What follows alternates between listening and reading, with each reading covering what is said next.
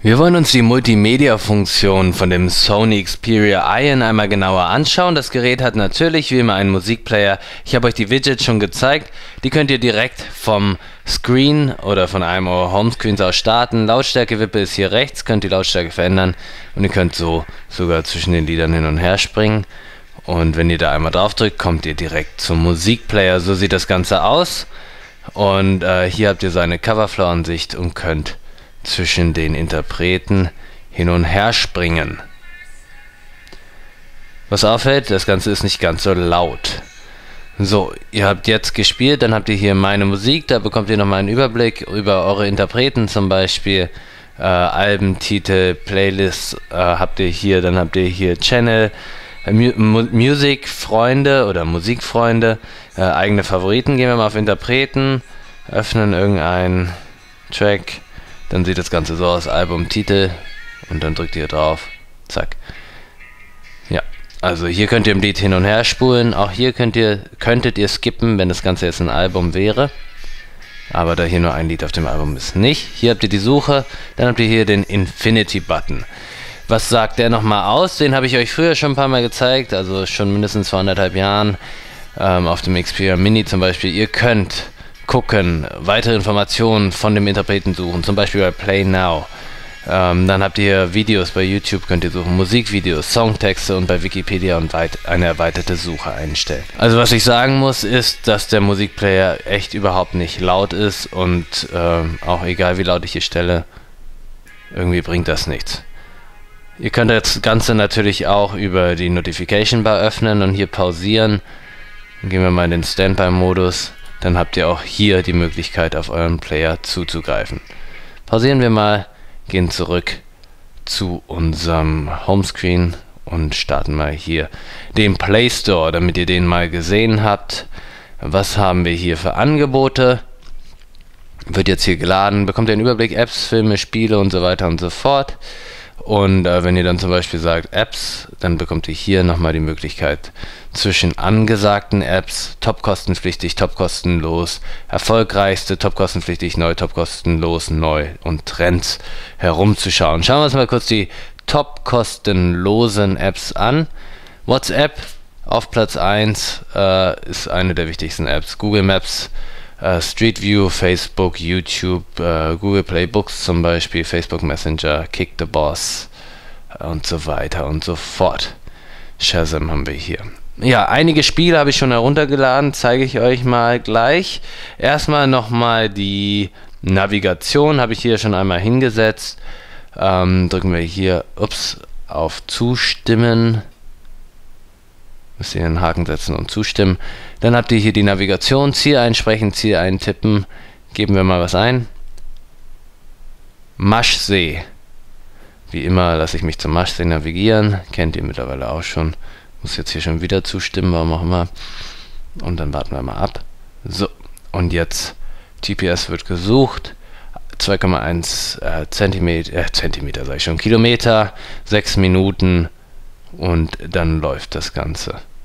Also es funktioniert schnell und gut. Habt ihr gesehen, hier habt ihr weitere Einstellungsmöglichkeiten, Route, Routenliste, Ebene, Sprachführung, ähm, Navigation beenden, mehr.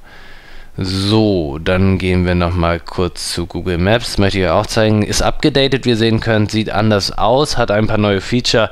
Zum Beispiel synchronisiert sich das Ganze, also diese mobile Version, auch mit eurer Desktop-Version, wenn ihr die benutzt.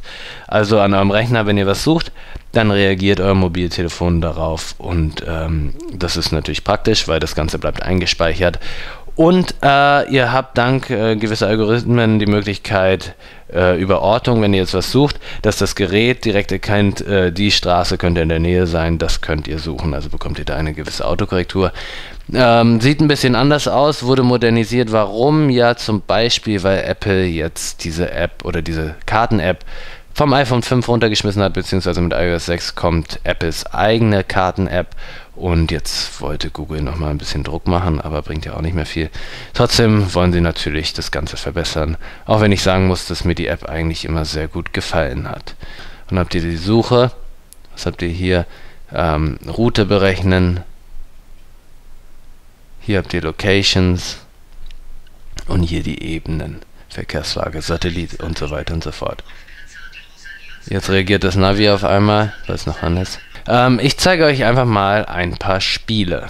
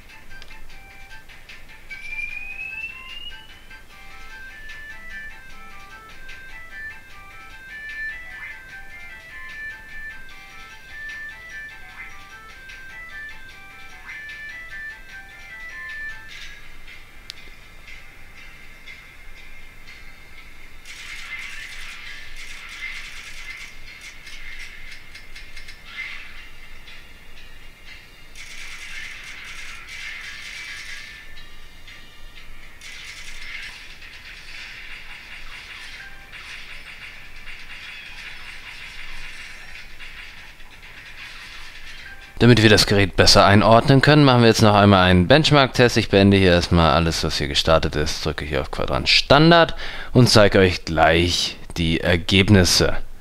Run Full Benchmark Test und dann warten wir einmal ab. Schauen wir uns mal das Ergebnis an. Einfach hier einmal auf Yes drücken und dann sehen wir hier, wie das Gerät eingeordnet wird. Darüber ist das HTC One X, Asus ist darüber, dann Your Device 3162 in Total, darunter Motorola, Samsung, Samsung, LG, HTC, Samsung.